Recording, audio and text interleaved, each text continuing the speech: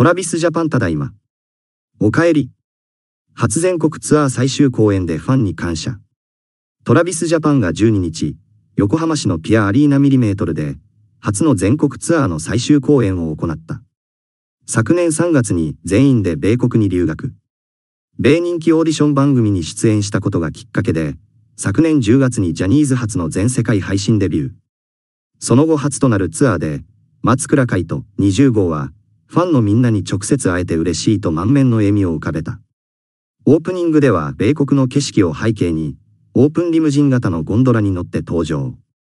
レコード会社との契約調印式時にも着用した、滝沢秀明氏から贈られたタキシードを着用した。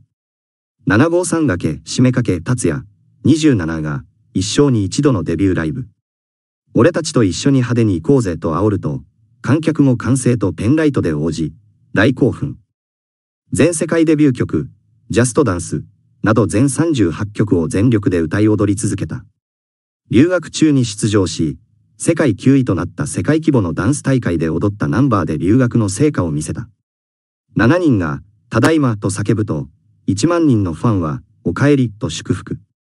公演の終盤には7号3掛け、松倉、吉沢静也、静也、27が感極まり涙を流した。